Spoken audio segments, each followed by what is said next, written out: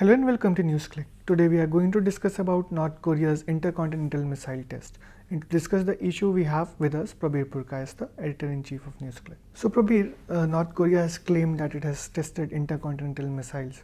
What is the reach, I mean, in comparison to the test it has it had done a few months back, and what's the technology part of it? Well, first is it is, if we look at the range now that this missile is capable of traveling, it seems that the claim of being an intercontinental ballistic, ballistic missile is correct.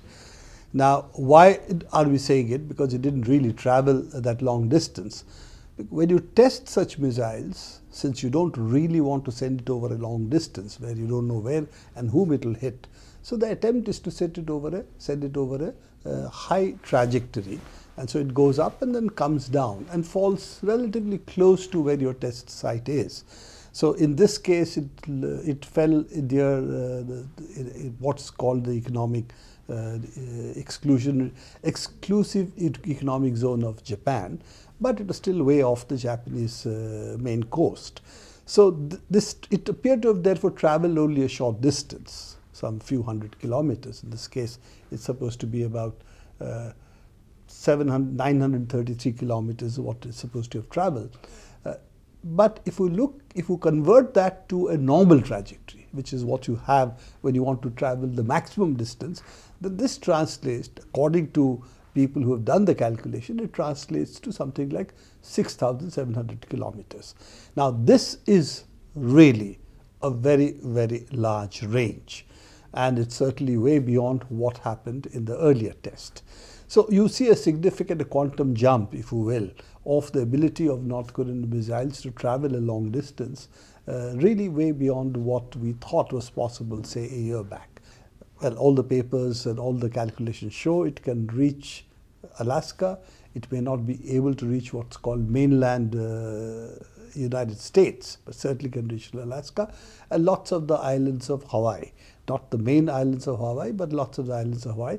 On this side, it can reach up to Australia, the northern, co northern coast of Australia, the northwestern coast of Australia to be accurate. So this is a really a large range, which means what we already knew from the last, last test itself that places like Guam, where the United States has a large military concentration, Okinawa in Japan, all of Japan, and of course South Korea is well within its range. So we do see a qualitative change uh, with this test of the of North Korean missile capability. But more than that, the speed at which they're developing, it's not really out of bounds to think that they should be in a few maybe a few months, maybe a year, maybe two years, they should have the missile capability of also delivering missiles to the United States. Now, will that be possible? Will that mean that they can reach a nuclear bomb to the United States? Uh, attack US with uh, cities with uh, nuclear bombs?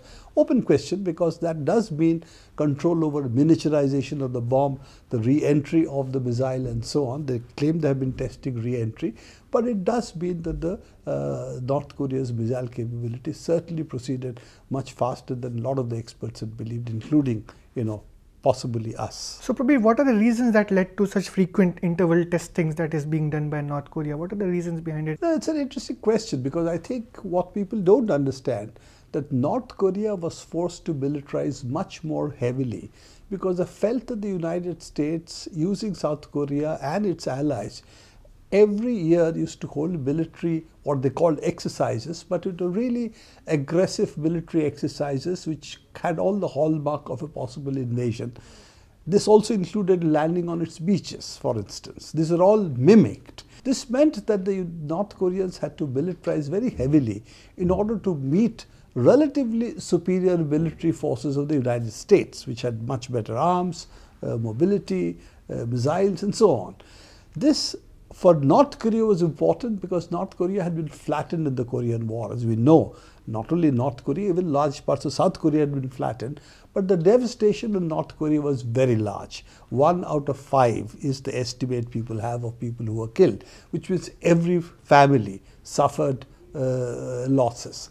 So given that psyche of the North Koreans, given the fact that the United States had aggressive military exercises right from 53 to today, that this meant that they had a psyche of being always under threat, always under attack, and therefore militarization. That's a very costly militarization because maintaining land forces, all other uh, arms and armaments means that you have to spend a lot of money.